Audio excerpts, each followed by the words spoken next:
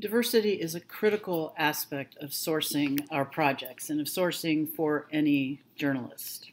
Among the assigned readings, um, a list of questions that you should be able to answer before pitching a story, which is relevant for this project and just for um, really any content you're going to produce. And one of the questions I want to draw your attention to for this lesson is why will the reader or viewer care? So let's think about this discussion in that context um, you'll find many, many resources out there for talking about diversity, the diversity toolbox being one of them. And a main point of that is that diversity is accuracy. That this article that um, is also in the reading is that you know you really have to be out in the community. You've got to be among the people that you're covering to really get an accurate view of who is who makes up that community, who makes up the body of readers and your audience. Let's take a look at a recent report from the Pew Research Center. Um, it's a bit disturbing. Newsroom employees are less diverse than U.S. workers overall. And it found that if you look at U.S. newsrooms across the disciplines, um, across the platform, so um, TV, broadcast, digital, um, digital online, newspapers, that newsrooms are more white and more male than U.S. workers in general. And younger newsroom employees do bring um, some gender equity to the newsroom, but still um, predominantly white, so not um, as diverse as the rest of the U.S. workforce. Um, and we see that over and over again in reports, even though there is quite a push in newsrooms to have them um, representative of the community. So diversity really does equal accuracy. If you think about um, how you're reporting, being able to talk to people from various perspectives, people with multiple perspectives on a story or a topic, is really what you need to have an accurate representation. So let's take a look at something that KUT has been doing. So KUT is the NPR station in Austin. And a year ago, um, in 2018, they took a look at um, the sources that KUT was using, and they just took a snapshot from a few months, uh, January to March of 2018. And they looked at sources then, and then they came back and started looking at those numbers monthly, beginning in September of 18 and going into uh, 2019. And what they found when they first did the snapshot of those three months is that their sources, just with respect to gender, were predominantly male, more than 70% predominantly male um, compared to female. Now, when they uh, revisited that in the latter part of the year, because they had brought awareness to that, they actually found their numbers were much closer to sort of um, what we might think of as content or community parity. So the numbers were much closer. Um, but let's take a look at the at this, the reason they did this. Right, is that one of the things that when KUT reported on this, which they've done extensively, um, and they reported, and it's all on their website, you can check it out, is they shared their methodology for this and why they were doing this. Um, one of the things they also did was talk to their staff regularly about why they set this goal for increasing diversity in 2019. Developing new and more diverse sources is a process we are dedicating significant effort to this year. And in the methodology um, of how they did this um, source audit of all of their content was that in September they had reporters starting to ask after the interviews, ask people um, how they identify themselves more specifically than might um, be obvious from just their occupation or um, an element that they used on air. Most sources provided the information, some didn't, and so you know that's fine. They noted that, but having that more complete picture of who they're actually talking to. So if you look at um, their numbers overall, we talked about the gender issue. One of the things that's interesting, go back to that um, thought we had a few minutes ago about newsrooms not being terribly diverse. Um, one of the things the KUT study did was look at male journalists versus female journalists and who they were talking to. And they found that male, male journalists talk to more male sources. Now, the interesting thing is, female journalists talk to um, a percentage, larger percentage of female journalists than the male uh, I mean, have female sources than the male journalists did, but they still didn't reach that sort of source parity, right? They still spoke with more male sources. Those numbers um, were much more equalized when they did the revisit later in the year. Um, let's look at race and ethnicity. Um, this is an area where we have census data, and so we usually compare this based on what the census categories would be. But as with gender, we found that KUT primarily speaking with white sources.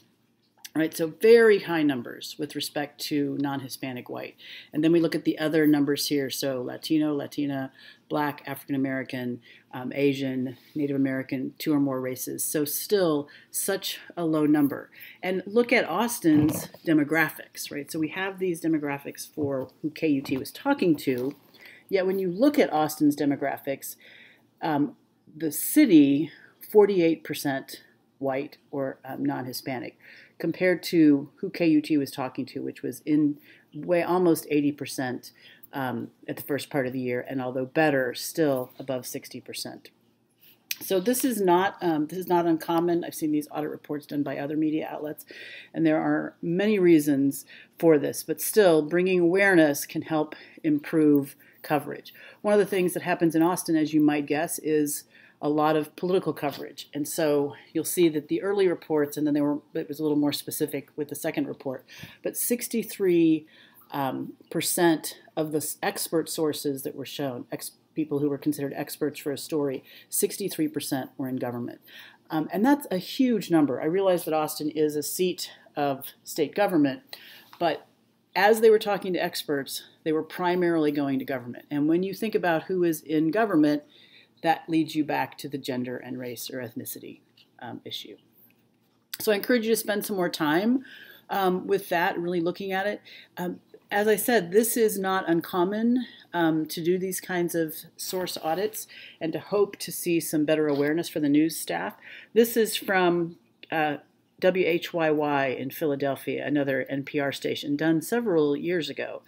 Um, so let's take a look at this. The staff of that station um, is more predominantly female, right? So 58% women, 42% men, but 80% white. So 80% white, 7% black. The source data, again, 80% white.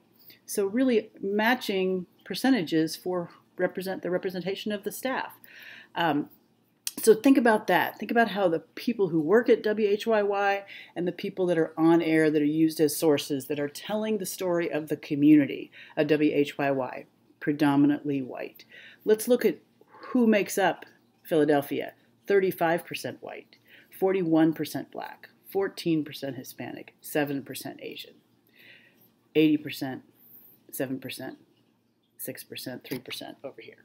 So it is a, a, concern as we think about who we're talking to and making sure that we are making a concerted effort to get into our community and to develop sources across our both, both ethnic and racial spectrum, gender spectrum, occupation.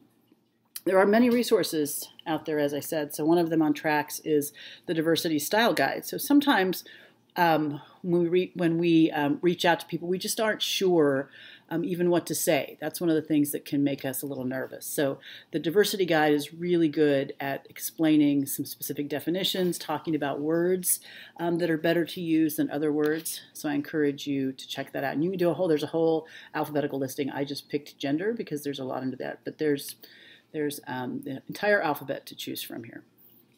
And one of the questions is um, how do you figure that out, right? So ask the source. If it's relevant to the story, and it isn't always, um, but we do want to identify people fully, right? So ask somebody how they want to be identified. Ask about a pronoun. Ask about race or ethnicity. And almost always we ask about occupation and age. Um, so sources are more credible for our audience when we know who they are, when we can see that they are from our community or from um, the people who are affected by our story. Sometimes we're uncomfortable with asking. You know, I certainly understand that is we can be uncomfortable, but information is power. So checking the diversity style guide, looking um, help help bolster your confidence um, that you know words that are appropriate and ask somebody what um, word they would choose when identifying themselves. Ask them why um, they're talking to you about a specific topic. Oftentimes, people will explain in more detail why this is important to their community.